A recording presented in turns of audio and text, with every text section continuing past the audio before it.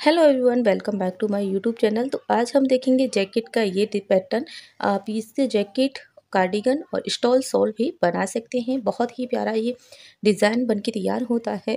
यहाँ पर मैंने एक पैटर्न बनाया है। इस वजह से मैंने सिक्स सिक्स डबल क्रोशे इसके स्टार्टिंग में और लास्ट में लगाए हैं। लेकिन अगर आप जब इसको पैट पैटर्न बनाना स्टार्ट करोगे थाल, उसके लिए, जैकेट या कार्डिगन के लिए तो आपने यहाँ तक बनाना है, उसके बाद आपने ये वाला पैटर्न स्टार्ट कर देना है। तो टोटल अठारह फंदों का इसका ये डिज़ाइन बन के तैयार होता है। तो टोटल इसी तरीके से बनता हुआ ये जाएगा। मैंने वीडियो में आपको स्टेप बाय स्टेप बताया है, फिर भी आपको कोई भी प्रॉब्लम होती है, आप मुझे कमेंट करना, मैं आपको आगे का भी पैटर्न बनाना बताऊँगी। और आप इस डिज़ाइन में क्या देखना पसंद करेंगे, वो मुझे कमेंट करके बताइएगा। बहुत ही प्यारा ये डिज़ाइन बन के तैयार होता है। अगर आप चैनल पर फ़र्स्ट टाइम विज़िट कर रहे हैं तो चैनल को सब्सक्राइब ज़रूर करें और आप इस डिज़ाइन में क्या बनाना चाहते हैं और क्या देखना चाहते हैं, वो बताएँ। आगे वीडियो आप किस टॉपिक पर देखना पसंद करेंगे, आप ज़रूर बताएँ। तो चलिए, वीडियो को स्टार्ट करते हैं। मैंने इसमें स्टेप बाय स्टेप आपको सारा कुछ बता दिया है। तो प्लीज़ वीडियो को फुल वॉच कीजिएगा। चौंतीस चैन बनाने के बाद यहाँ पर सभी में डबल क्रोशिया बना लिया है। जब भी हम कोई प्रोजेक्ट बनाते हैं सॉल स्टॉल, कार्डिगन, जैकेट, जो भी प्रोजेक्ट हमारा बनता है, वो बॉर्डर से ही स्टार्ट होता है। तो ये रॉ मेरी एज अ बॉर्डर काउंट होगी, ओके? तो सबसे पहले हमने क्या करा है, इस तरीके से बनाने के बाद देखिए, मैंने यहाँ पर थ्री चैन बनाई है, जो कि एज अ डबल क्रोशिया मेरी काउंट होती हैं। हम वर्क को टर्न करते हैं। अब ध्यान रखिएगा, जब भी हम इस तरीके से बनाते हैं ना, ये चीज़ मैं आपको और पास से दिखा देती हूँ। जब भी हम डबल क्रोशिया स्टार्ट करते हैं तो यहाँ से ये चैन है तो हम इस वाले लूप से नहीं स्टार्ट करेंगे, यहाँ से स्टार्ट करेंगे। इस चीज़ का आपने ध्यान रखना है, वरना आपका हर रो में एक स्टिच यहाँ पर इंक्रीज होता जाएगा। इसके बाद हम यहाँ पर देखिए सिक्स डबल क्रोशिया बनाएँगे चैन को काउंट करते हुए, यानी फाइव हम डबल क्रोशिया बनाएँगे और वन हमारी थ्री की चैन है, जो कि हमारी as a double crochet count होती है। टोटल हमें यहाँ पर सिक्स यहाँ पर इस तरीके से बनाने हैं। देखिए, one, two, three, four, five, one time और हम बनाएँगे इस तरीके से। ये हो गए हैं सिक्स। सिक्स बनाने के बाद देखिए, अब मैं इस तरीके से चैन लेनी है। सिक्स डबल क्रोशिया बनाने के बाद वन चैन लेकर फिर हम इसमें जाकर फोर डबल क्रोशिया बना लेंगे। Two, three, four. Four double crochet बनाने के बाद देखिए, यहाँ पर हमने टू स्किप करे हैं, लेकिन अब यहाँ पर हम वन स्किप करेंगे। देन उसके बाद हमने फिर से सिक्स टाइम डबल क्रोशिया बनाना है। सिक्स लूप से ही बनाना है। सिक्स बार डबल क्रोशिया देखिए। वन वन काउंट करते हुए हमने फोर हो गए हैं हमारे। फाइव सिक्स इस तरीके से सिक्स हो गए हैं। अब हमने वन और टू चैन लेनी है और बॉटम से भी हमने वन टू ही स्किप करना है देन इसके बाद थर्ड वाली चैन से हमने फिर से यहाँ पर सिक्स डबल कोशिया बनानी है। थ्री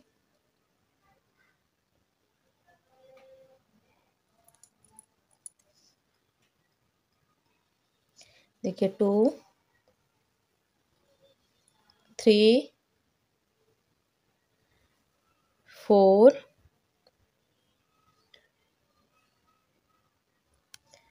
five six इस तरीके से। अब हमने सिक्स बना ली है। हम इस तरीके से वन चैन का डिस्टेंस लेंगे इस तरीके से। और वन चैन लेने के बाद हमने यहाँ पर वन स्किप करनी है। नेक्स्ट वाली से हमने यहाँ पर जाकर फोर डबल कोशिया बनानी है। जो कि हमने अपने पीछे बनाई थी, इसी तरीके से हम फोर डबल क्रोशिया बनाएँगे, क्योंकि हमने, हम डिज़ाइन की तरफ़ से आ रहे हैं तो हमने वन चैन स्किप करी है। अब हम बॉर्डर की तरफ़ जाएँगे तो यहाँ पर वन चैन लेंगे और बॉटम से वन टू चैन स्किप करेंगे और यहाँ पर सिक्स डबल क्रोशिया बना देंगे। Two three four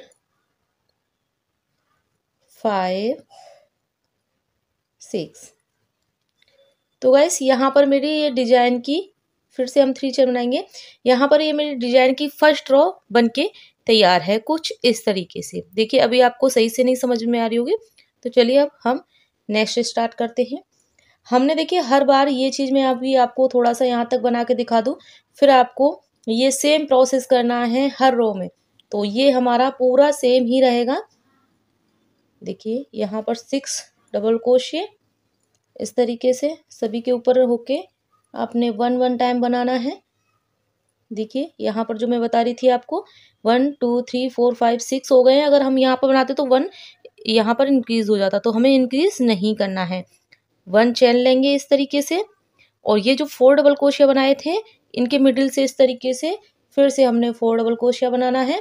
टू इधर टू इधर छोड़ के हमने फोर डबल कोशिया इसमें बना लेना है। इस तरीके से। देखिए तो ये इतना जो पार्ट है वो मेरा इस तरीके से ही चलेगा। अब क्या करना है आपने इस तरीके में? वन और यहाँ पर टू हम यहाँ पर चैन लेंगे और टू चैन लेने के बाद ये जो हमारी, ये फ़र्स्ट वाला जो सिक्स डबल क्रोशिया का जो फ़र्स्ट वाला डबल क्रोशिया है, इस पर जाकर हम यहाँ पर एक डबल क्रोशिया बना देंगे इस तरीके से। और फिर से हम टू चैन लेंगे और टू चैन लेने के बाद ये जो हमारा ये वाला जो टू चैन का स्पेस था, इसमें हमने नाइन डबल क्रोशिया बनानी है। One two three four five six seven eight nine nine double crochet मेरी देखिए हो गई हैं ये। अब यहाँ से फिर से हम टू चैन लेंगे। टू चैन लेने के बाद हमने, हमारे पास ये जो सिक्स डबल क्रोशिये हैं, इसके, ये इस वाले डबल क्रोशिये पर हम इस तरीके से यहाँ पर एक डबल क्रोशिया बना देंगे। वन चैन लेकर ये जो फोर डबल क्रोशिये हैं, इसके मिडिल से हमने फोर डबल क्रोशिये बनाने हैं और सेम इस प्रोसेस को हमने सेम करना है। देखिए।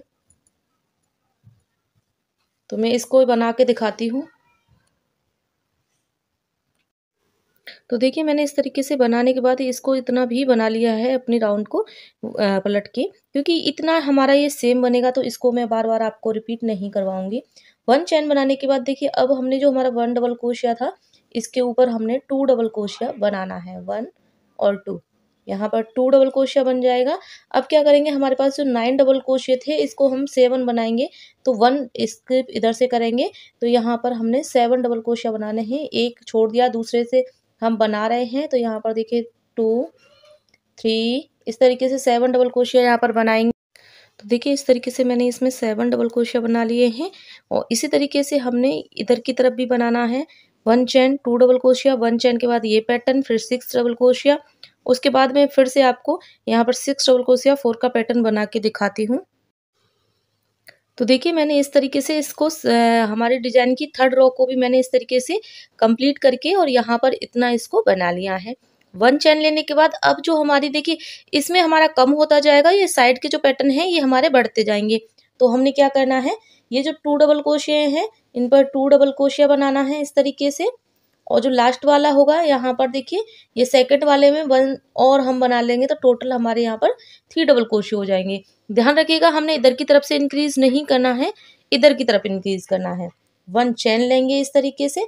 वन चैन लेने के बाद हमारे पास ये सेवन है, अब हम यहाँ पर फाइव बनाएँगे। तो वन स्किप करने के बाद हम यहाँ पर फाइव डबल क्रोशिया बना लेते हैं। वन टू थ्री फोर और यहाँ पर फाइव तो ये मेरे फाइव हो गए हैं इस तरीके से.